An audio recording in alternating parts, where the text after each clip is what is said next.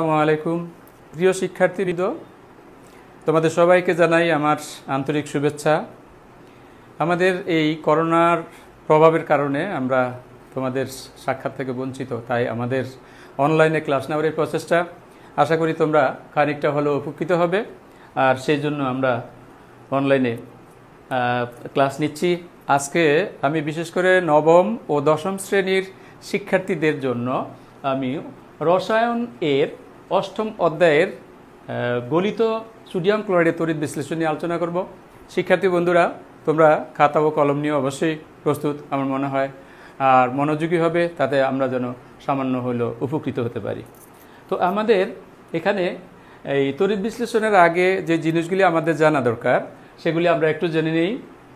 অনুগ্রহকারী শিক্ষার্থীবৃন্দ, তোমরা একটু মনোযোগী হবে। প্রথমে আমরা জেনে নিই যে আমাদের তড়িৎ বিশ্লেষ্য কি। তড়িৎ বিশ্লেষ হলো এমন সকল পদার্থ যাদের, যারা শুধুমাত্র গলিত অবস্থায় বিদ্যুৎ পরিবহন করতে পারে আর পরিবহনের সময় তাদের রাসায়নিক বিক্রিয়া ঘটে। এ সকল পদার্থকে বলা হয় তড়িৎ বিশ্লেষ্য। আর এই পদার্থগুলো যখন দ্রবীভূত অবস্থায় বিদ্যুৎ পরিবহন করে, তখন তাদের মধ্যে যে বিক্রিয়াটি ঘটে, সেটার নাম হলো তড়িৎ বিশ্লেষণ। তাইলে আমরা এখন সোডিয়াম ক্লোরাইড, অর্থাৎ গলিত সোডিয়াম ক্লোরাইডের তড়িৎ বিশ্লেষণ আলোচনা করব। তো সেক্ষেত্রে আমাদের কি করতে হবে? চলো আমরা দেখি। এই চিত্রটা দেখো। আমরা একটা প্রথম পাত্র নিয়েছি। এই পাত্রটার মধ্যে সোডিয়াম ক্লোরাইডের দ্রবণ নিয়েছি। অর্থাৎ সোডিয়াম ক্লোরাইড স্বাভাবিক দ্রবণ অতিরিক্ত কোনো গাঢ়ত্ব বা কিছু নেই। তো এই অবস্থায় আমরা এই পাত্রটিতে দুইটি তরিদ্দার আমরা স্থাপন করেছি। এইগুলি তুমি যে কোনো তরিদ্দারই নিতে পারো, ধাতব তরিদ্দার। তো আমরা মনে করো এখানে ক্যাথোড তরিদ্দার নিয়েছি। নিয়ে তাদের একটিকে আমরা ব্যাটারির ধনাত্মক প্রান্তের সাথে, একটিকে ব্যাটারির ঋণাত্মক প্রান্তের সাথে যুক্ত করে দিয়েছি। তো যে যে তরিদ্দারটিকে আমরা ধনাত্মক প্রান্তের সাথে যুক্ত করেছি ব্যাটারি, সেটাকে বলা হয় অ্যানোড এবং যে তরিদ্দারটিকে আমরা ব্যাটারি ঋণাত্মক প্রান্তের সাথে যুক্ত করেছি, সেটা সেটাকে বলে ক্যাথোড। তো এখন আমরা আমাদের এই সোডিয়াম ক্লোরাইড, গলিত সোডিয়াম ক্লোরাইডের তড়িৎ বিশ্লেষণের জন্য আমরা প্রস্তুত। এখন যদি আমাদের তড়িৎ চালনা করা হয় তাহলে আমাদের সোডিয়াম ক্লোরাইড দুইটি আয়নে বিভক্ত হবে। শিক্ষার্থীবৃন্দ, প্লিজ তোমরা খুব খেয়াল করে শোনো, তাইলে সোডিয়াম ক্লোরাইড দুইটি আয়নে বিভক্ত হবে। সে আয়ন দুটি হলো কী কী? খেয়াল করে দেখো এন এ প্লাস আয়ন এবং সিএল মাইনাস আয়ন। এই দুইটি আয়ন বিভক্ত হবে। এখন আমরা এও জানি যে আমাদের অ্যানোড হলো ধনাত্মক চার্জযুক্ত এবং ক্যাথোড হলো ঋণাত্মক চার্জযুক্ত। আমরা ছোটবেলা থেকে, ক্লাস থ্রি থেকে আমরা জেনে আসছি যে সমজাতীয় চার্জ পরস্পরকে বিকর্ষণ করে, দূরে সরিয়ে দেয়, আর বিপরীত আধান বা চার্জ পরস্পরকে আকর্ষণ করে, কাছে টেনে নেয়।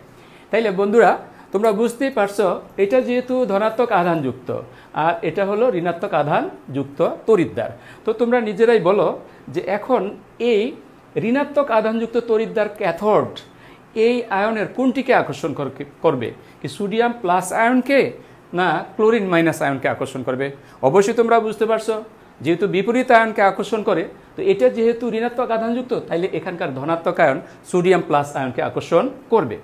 আর অ্যানোড ধনাত্মক আদানযুক্ত হওয়ায় ঋণাত্মক আয়ন সিএল মাইনাসকে আকর্ষণ করবে। তাইলে আমরা বুঝতে পারছি এখানে এই দ্রবণ থেকে সোডিয়াম আয়ন কোন দিকে যাবে? ক্যাথোডের দিকে আকৃষ্ট হবে আর সিএল মাইনাস আয়ন কোন দিকে যাবে? অ্যানোডের দিকে আকৃষ্ট হবে। তাহলে চলো বন্ধুরা, আমরা দেখে নেই ক্যাথোডে কী ধরনের বিক্রিয়া ঘটবে। দেখো, ক্যাথোডে সোডিয়াম আয়ন যাবে, গিয়ে সে একটি ইলেকট্রন গ্রহণ করবে। প্রশ্ন জাগতে পারে যে কেন একটি ইলেকট্রন গ্রহণ করবে? কোনো একটা সময় হয়ে ধনাত্মক আয়ন হওয়ার জন্য বা ক্যাটায়ন হওয়ার জন্য একটা ইলেকট্রন ত্যাগ করেছিল। ফলে তার মধ্যে এগারোটি প্রোটন আর দশটি ছিল ইলেকট্রন। এখন সে স্বাভাবিক হওয়ার জন্য, নিরপেক্ষ হওয়ার জন্য যে একটি ইলেকট্রন হারিয়েছিল, অর্থাৎ দশটি ইলেকট্রন তার মধ্যে আছে, একটি ইলেকট্রন গ্রহণ করে সে এগারোটি ইলেকট্রন এবং এগারোটি প্রোটন নিয়ে অবস্থান করবে। এই অবস্থায় সে চার্জ বিহীন হবে, অর্থাৎ নিরপেক্ষ সোডিয়ামে পরিণত হবে এবং এই সোডিয়াম কার গায়ের মধ্যে প্রলেপ করতে থাকবে?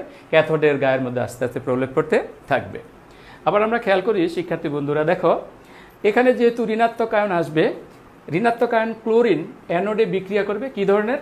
ক্লোরিন আয়ন এসে তার মধ্যে যেহেতু আঠারোটি ইলেকট্রন, সতেরোটি প্রোটন, একটা ইলেকট্রন বেশি সে নিরপেক্ষ হইতে পারছে না, তাই অতিরিক্ত একটি ইলেকট্রন সে ত্যাগ করবে, ত্যাগ করে সে ক্লোরিন নিরপেক্ষ পরমাণুতে পরিণত হবে।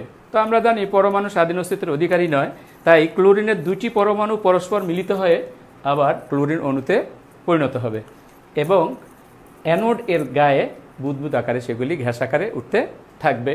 তো আমাদের সোডিয়াম, অর্থাৎ গলিত সোডিয়াম ক্লোরাইডের তড়িৎ বিশ্লেষণে এটুকু শিক্ষার্থীবৃন্দ, আমরা এটাকে আবার একটু রিভিশন দিচ্ছি। তোমরা আবার খেয়াল করে শুনো। তাইলে গলিত সোডিয়াম ক্লোরাইডের তড়িৎ বিশ্লেষণ করার জন্য আমরা প্রথমেই সোডিয়াম ক্লোরাইডের একটি দ্রবণ তৈরি করে নিব। সেই দ্রবণকে একটি পাত্রের মধ্যে আমরা নিব। পাত্রের মধ্যে দুইটি তড়িৎদ্বার আমরা নিব। তড়িৎদ্বার দুটি যে কোনো ধাতবই হতে পারে, তবে আমরা বিশেষ করে এখানে আমরা আমাদের এখানে আমরা সাধারণত গ্রাফাইট দণ্ড ব্যবহার করেছি। তো এখানে গ্রাফাইট দণ্ড, এই দুইটি তড়িৎদ্বারের একটিকে আমরা ব্যাটারি ধনাত্মক প্রান্তের সাথে আর একটিকে ব্যাটারি ঋণাত্মক প্রান্তের সাথে যুক্ত করেছি।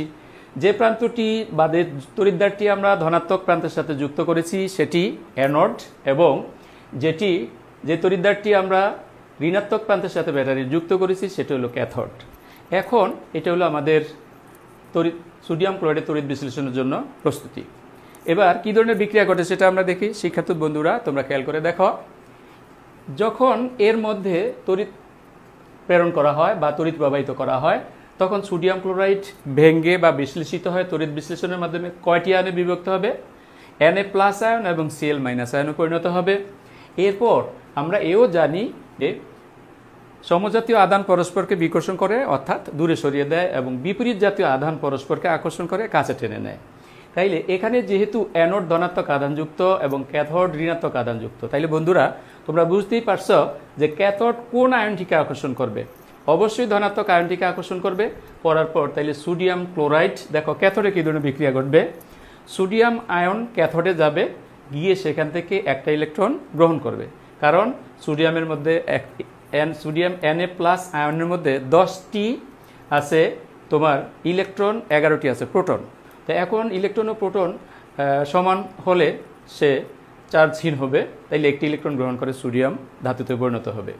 এই হলো তোমার ক্যাথোডে বিক্রিয়া এবং এই সোডিয়াম ধাতু কিন্তু ক্যাথোডের গায়ের মধ্যে আস্তে আস্তে নিরপেক্ষ হয়ে প্রলেপ করবে। অপরদিকে, অ্যানোড দ্বারা আকৃষ্ট হবে, ক্লোরিন মাইনাস আয়ন। এই ক্লোরিন মাইনাস আয়ন সেখানে গিয়ে তার মধ্যে একটি অতিরিক্ত ইলেকট্রন আছে, সেটি ত্যাগ করে ক্লোরিন পরমাণুতে পরিণত হবে।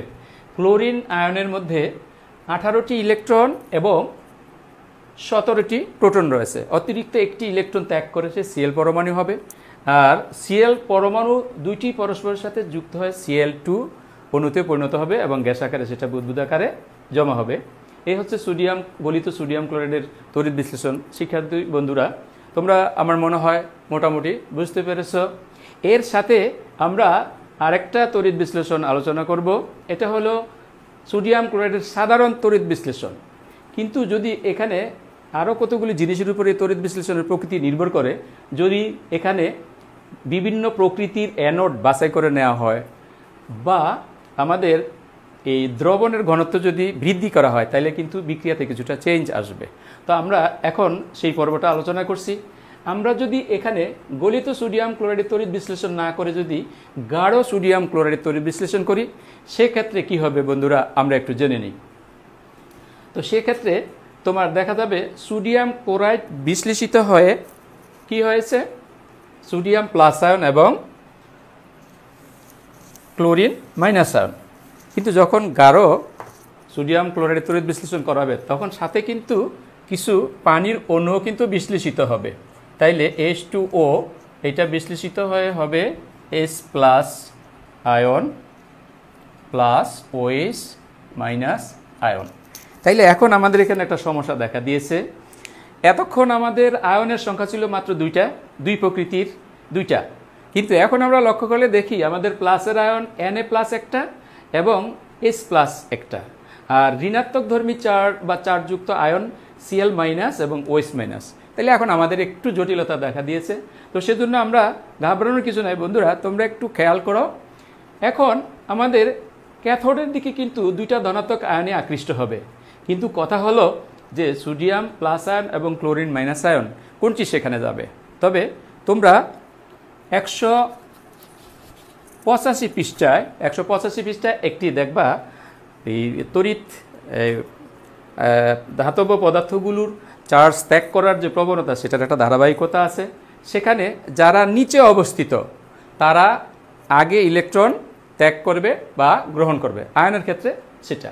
তো এখন আমাদের সোডিয়াম প্লাস আয়ন এবং chlorine minus sodium plus ion এবং এস প্লাস আয়ন, এই দুইটি ধনাত্মক। কিন্তু তোমরা দেখবে ওখানে সোডিয়াম উপরে অবস্থিত এবং হাইড্রোজেন নিচে অবস্থিত। তাই হাইড্রোজেন কিন্তু দ্রুত ইলেকট্রন ত্যাগ করবে, গ্রহণ করবে। তাইলে ইলেকট্রন গ্রহণ করবে, দুইটির মধ্যে প্রতিযোগিতা কে আগে করবে? S plus ion. তাইলে কী হবে সেখানে? এস প্লাস আয়ন একটি ইলেকট্রন গ্রহণ করবে ক্যাথোড থেকে। করে সে এইচ নিরপেক্ষ পরমাণু হবে। এইচ প্লাস এইচ দুইটি এইচ পরমাণু একত্রিত হয়ে এইচ টু গ্যাস তৈরি করবে। শিক্ষার্থী বন্ধুরা এইগুলো আমাদের দুইটি ধনাত্মক আয়নের কথা। এবার আসো আমাদের দুইটি ঋণাত্মক আয়নের কথা। দেখি এই দুইটির মধ্যে কোনটি আগে অ্যানোডে গিয়ে পৌঁছে। তাইলে এখানে ক্লোরিন এবং এই ওএইচ মাইনাস ক্লোরিন মাইনাস এবং ওএইচ মাইনাস আয়ন এই দুইটি মাইনাস আয়নে কার দ্বারা আকৃষ্ট হবে? অ্যানোড দ্বারা আকৃষ্ট হবে। কিন্তু আমাদের ওখানে এই সিরিজে দেখা যায় যে ওএস থেকে ক্লোরিন থেকে এই দুইটি চার্জের মধ্যে দেখো হ্যাঁ ক্লোরিন উপরে অবস্থিত এবং ওএস নিচে অবস্থিত। ফলে ওএস কিন্তু ক্লোরিন থেকে দ্রুত অ্যানোডে গিয়ে ইলেকট্রন ত্যাগ করবে। কিন্তু এখানে অন্য একটি বিষয়, আমরা কিন্তু যে দ্রবণটি নিয়েছি, দ্রবণটি কিন্তু গাঢ়ত্ব বেশি, অর্থাৎ ক্লোরিন থেকে আয়ন বেশি বের হয় আর পানি থেকে কিন্তু সামান্য আয়ন ওয়েস বের হয়। তাহলে বন্ধুরা, তোমরা বলো, কোন আয়নের সংখ্যা বেশি? এখানে কিন্তু সিএল মাইনাস আয়নের সংখ্যা বেশি, এটা বেশি শক্তিশালী।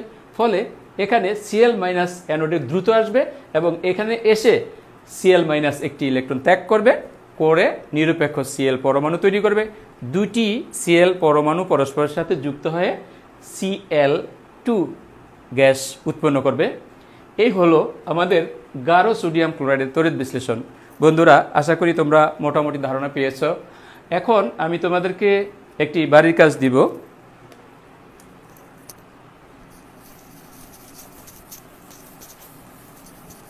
তোমরা খেয়াল করো, তড়িৎ বিশ্লেষণ প্রক্রিয়া হোমওয়ার্ক তড়িৎ বিশ্লেষণ প্রক্রিয়া ব্যবহার করে করে লোহার চামচের উপর চামচের উপর সিলভার এজি এর তড়িৎ প্রলেপন তড়িৎ প্রলেপন বা ইলেকট্রোপেটিং আলো, বর্ণনা করো বা আলোচনা করো। আলোচনা করো। তো শিক্ষার্থী বন্ধুরা, তোমরা এই প্রশ্নটার সমাধান করে বাসায় লিখে রাখবে। আল্লাহ চাহে তো যদি আমাদের আল্লাহ সহায় থাকে। আমাদের যখন স্কুল খুলবে, আমরা শ্রেণীতে তোমাদের এই কাজগুলি আমরা দেখব যে কে কতটুকু পরিশ্রম করেছ আর এটা তোমারই দায়িত্ব, তুমি এটা অর্জন করলে তোমারই এসএসসি পরীক্ষার জন্য উপকৃত হবে। তাই আশা করি তোমরা বাসা চর্চা করবে। তোমরা ভালো থাকো। এই করোনার মধ্যে আল্লাহ যেন আমাদের সবাইকে এটা থেকে হেফাজত করে, তাড়াতাড়ি আমরা সেরে উঠতে পারি। এই প্রত্যাশা রেখে আজকে আমার অনলাইনে ক্লাস এখানে সমাপ্ত করলাম। সবাইকে ধন্যবাদ। আসসালামু আলাইকুম।